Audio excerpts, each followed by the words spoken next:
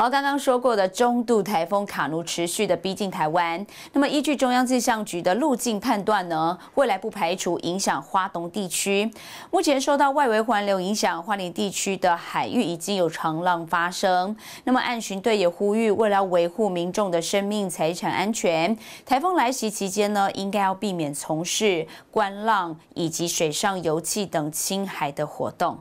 因卡努台风路径持续朝向西北西北方移动，花莲地区的海浪以及风力持续增强，因此第一二岸巡队派出所属的安检所以及巡逻站勤务人员，针对辖内的崇德、七星潭、基奇以及石梯坪等民众易聚集的游戏区热点，实施观浪民众的柔训劝导，确保民众的生命财产安全。因应卡努台风啊，逐渐逼近台湾。东部沿岸地区啊，受到台风外围环流的影响，已陆续有强阵风或长浪的发生。为维护民众的安全，在此也呼吁啊，请避免到岸际观浪或从事其他水上游憩活动。